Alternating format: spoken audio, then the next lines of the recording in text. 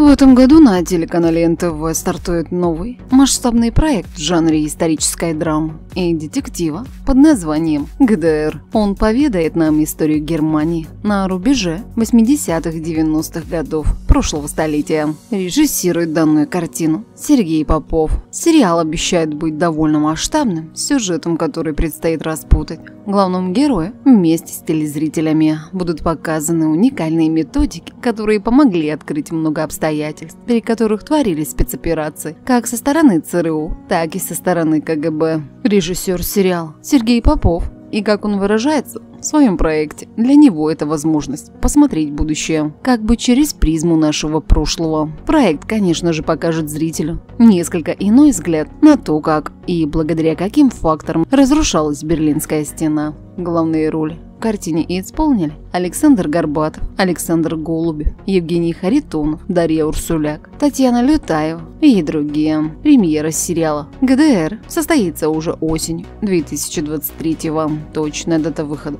будет известна позже. Подписывайтесь на канал и будете в курсе всех событий о любимых сериалах